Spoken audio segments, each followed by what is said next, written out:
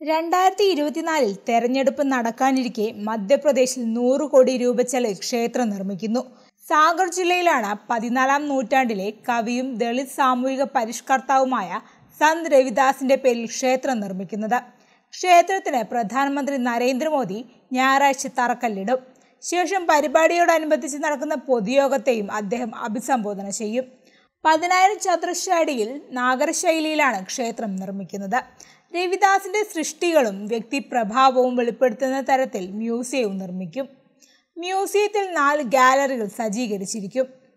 ലൈബ്രറിക്ക് പുറമെ meeting hall ജലസംഭരണി ഭക്തർക്കുള്ള താമസം എന്നിവയും നിർമ്മിക്കും. ഇന്ത്യയിലും വിദേശത്തുമുള്ള രവിദാസിന്റെ ഭക്തരെ ആകർഷിക്കുക എന്നതാണ് ക്ഷേത്ര നിർമ്മാണത്തിന്റെ ലക്ഷ്യം. പതിനയ്യായിരം ചതുരശ്ര അടിയിൽ ഭക്ഷണശാലയും നിർമ്മിക്കും. News desk കലാകാമുദി